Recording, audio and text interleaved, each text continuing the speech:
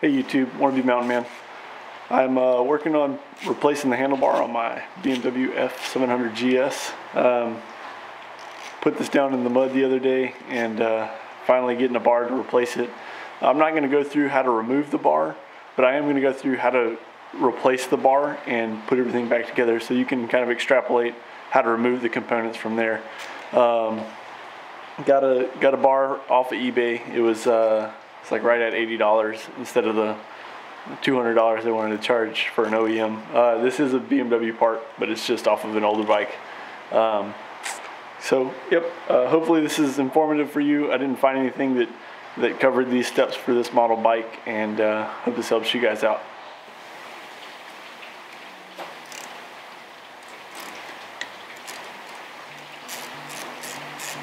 Yeah, these bolts are already loosened from the removal of it. I just tightened them up a little bit so I can move it around the garage here. I was waiting on this bar.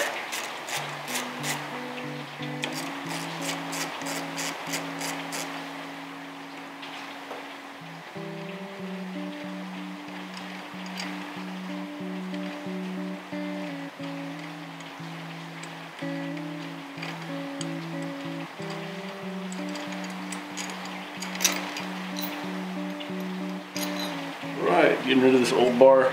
I don't know if you can see there, but this is bent up way really high. All right, anyways. New bar.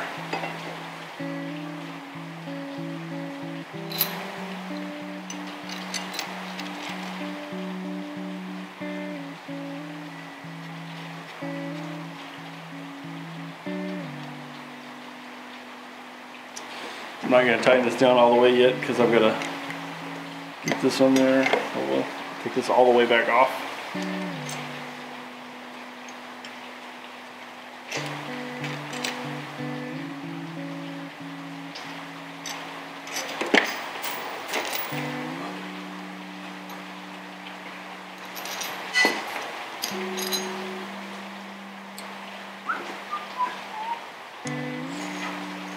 That on there because I didn't have to completely take that apart.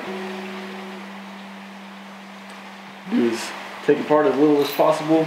I just disconnected that throttle cable and slid that off when I re removed the bar earlier.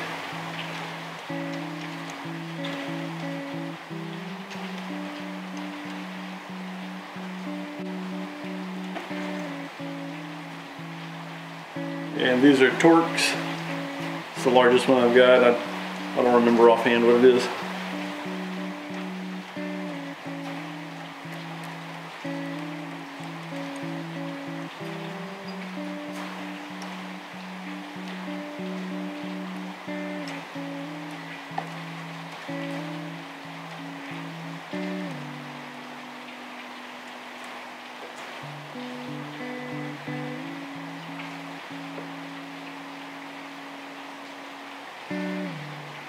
Fine tune this adjustment after I get everything put back on.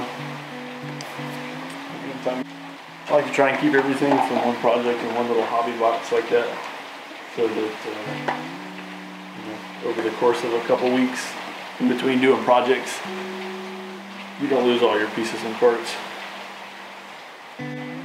So this larger Torx that we were using to put the uh, handlebar on, that's a T45. This is a uh, T27 for these handlebar mirrors, or for these mirrors.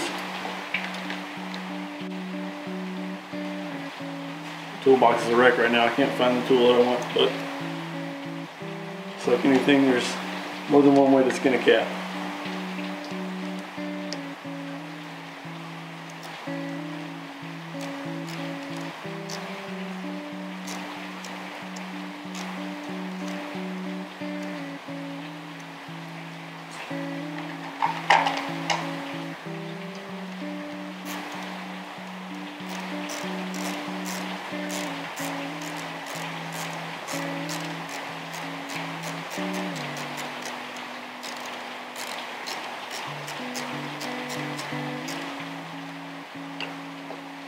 Really going to firm anything up right now.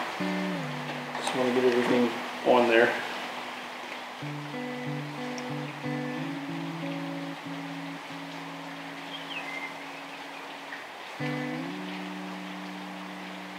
Oh yeah. So this one's got a uh, little hidden screw in there underneath that grip. Put it in there so I wouldn't lose it because this is this has got a through bolt system instead of a clamp system like most bars do.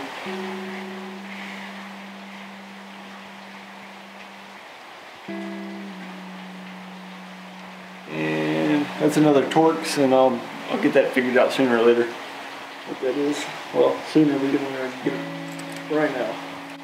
That's a T15.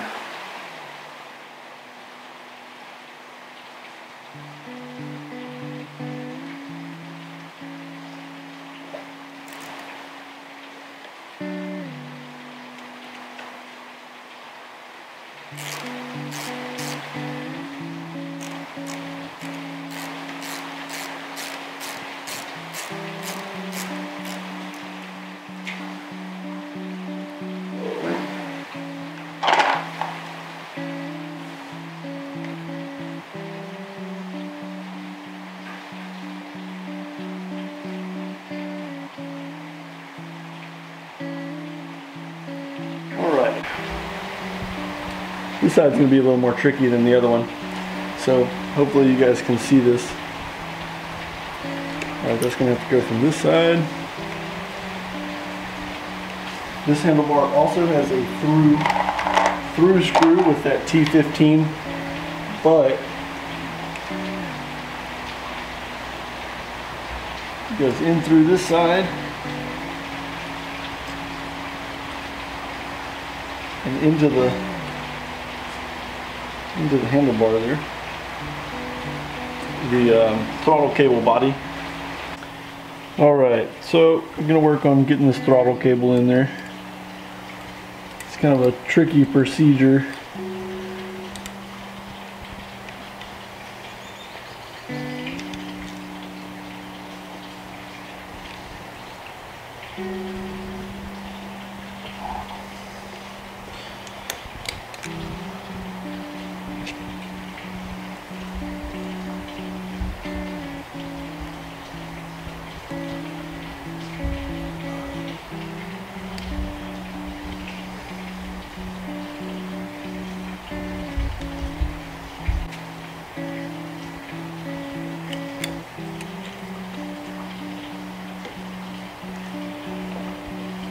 So the trick is you got to get this little ferrule end into the in there. But you also have you got to hold the tension off the cable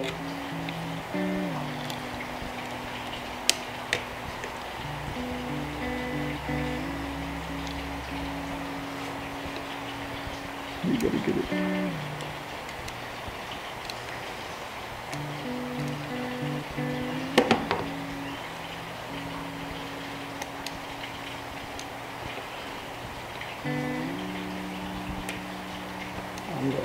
You see I made the made a loop out of it, went in there, let the tension off, boom. Cable's fine. Reinstall that.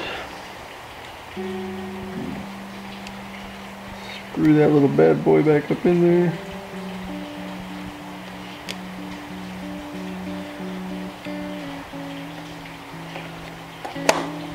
All right, got return.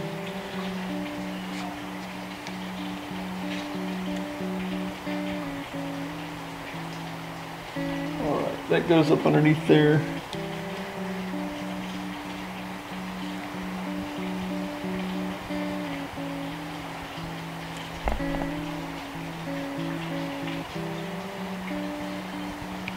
Try and figure out how this went back on there.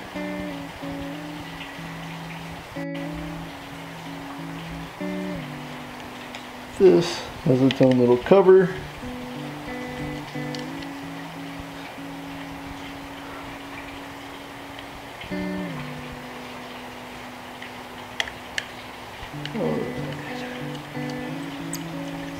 Throttle's put back together. I'm about to cover this little T17 up, so I'm just going to give it a little torque. Alright, that's good. It's ready to be covered up. Okay. This little screw in here It's just a little machine screw. It's a uh, it's a T9, so it's pretty tiny. And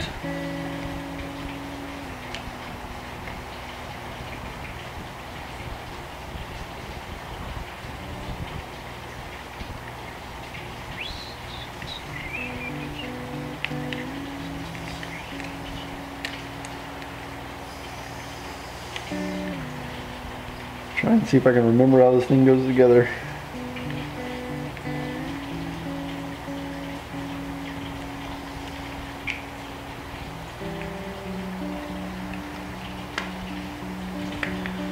You got to put the back together first. Make sure that your strain relief on your cable's in there. Front goes together.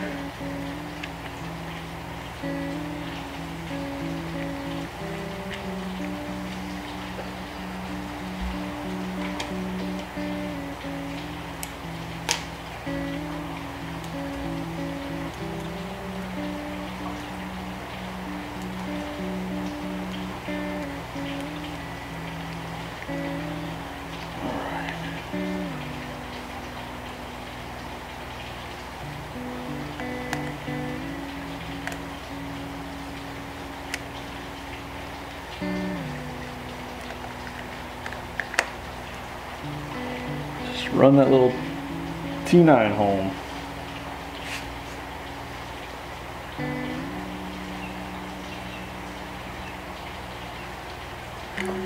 All right, this side is almost complete.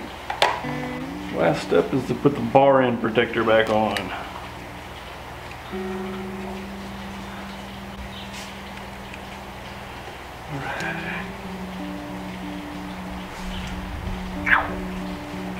Firm that bad boy on there. Good to move to the other side. Not ready to move to the other side yet. I gotta put my mirror back on. All right. Slips just past there.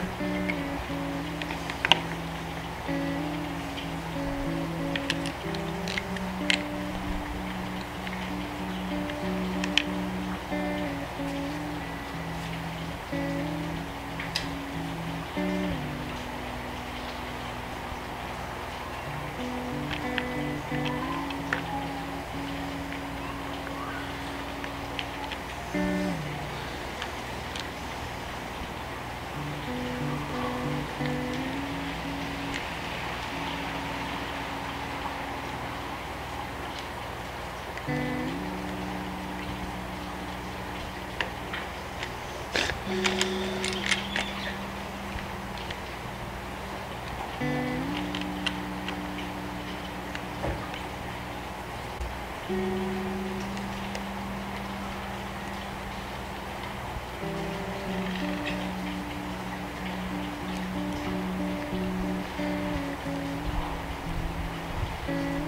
once again, I'll just firm these up as soon as I get a chance to get on the get on the bike and make sure that the handlebar position is correct and make sure that my grips are correct as well.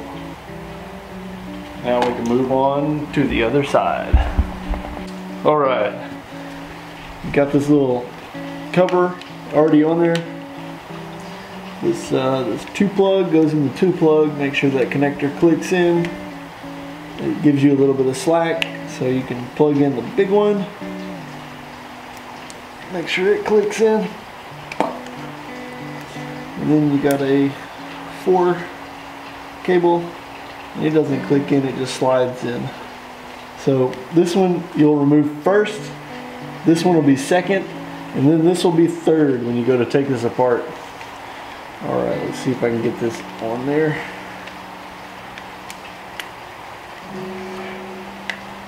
All right. That clicked in. Got that clicked in. I think I have a couple machine screws over here. Got the cable relief piece. And it goes just like that. Make sure you get that cable relief down there in there.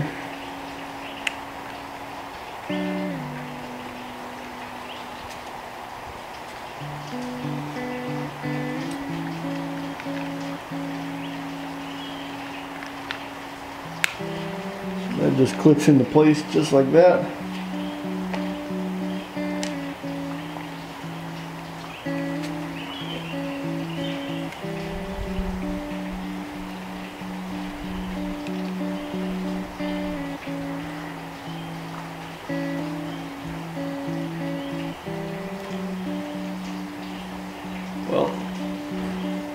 Apart because it appears that I have missed a screw somewhere. Might have to go back and take the other side apart just to see if I can find where that screw goes. It certainly isn't abundantly obvious from this direction.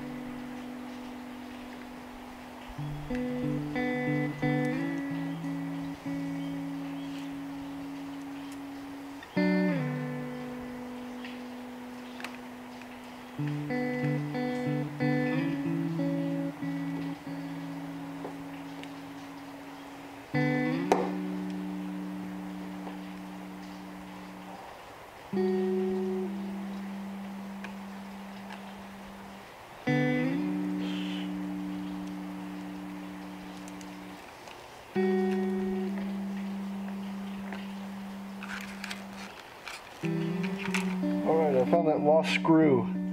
So for orientation, this is this is the throttle cable. We're looking up at the bottom side of the uh, the brake side of the handlebar. Okay, so I've taken off just the bottom cover of the the start cover. If we remember, so this is the cover that I see here. This is the cover that I took off. It's on the bottom side of the um, the ignition and kill switch. All right, so this is where that little screw goes.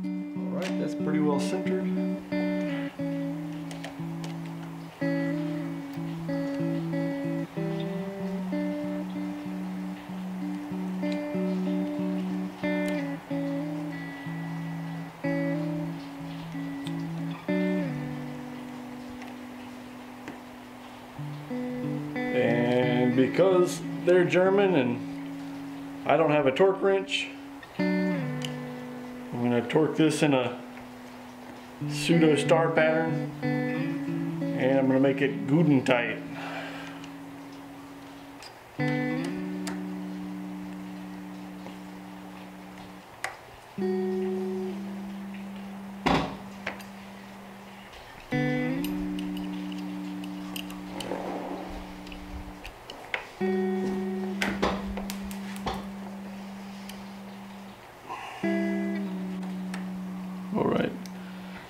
Backside isn't isn't as low, as much lower than the front, so I'm going to loosen these back ones up and torque more from the other side, so I can kind of, so I can make it even.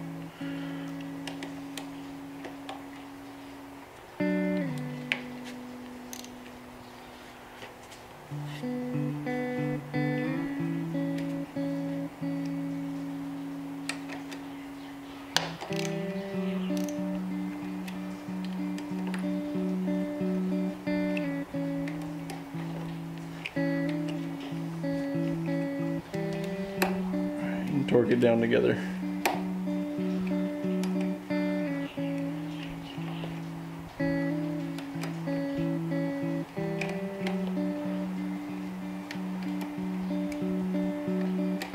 And I'm not an expert, so uh, you know, do what you guys want to do.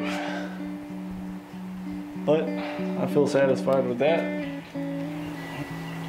Go ahead and torque down these end caps can be done with my T45.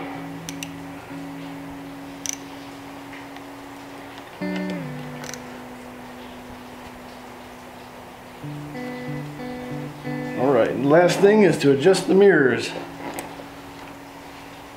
and the levers primarily.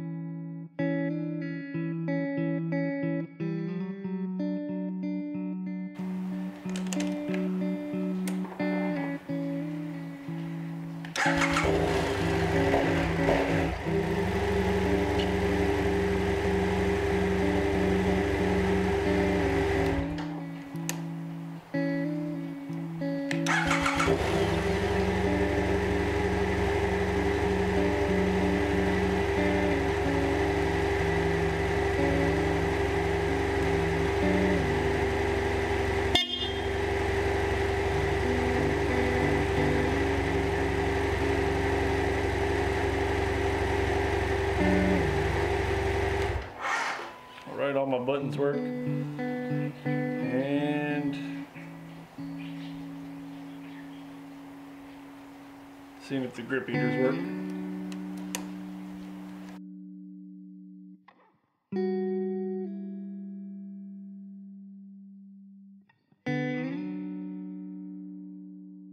Yep, they're working. So, uh, maybe not perfect, and like I said, I'm not a professional, but uh, maybe that'll give you some insight on how to do this job and save yourself a little bit of money. Um, if you have any questions, let me know, and uh, I'll do my best to answer them. If I have to dig back into it to answer your question, I'd love to. Um, like I said, I, I, didn't see this resource out there, and uh, I'm excited to be able to help you guys if it does. All right, have a good one.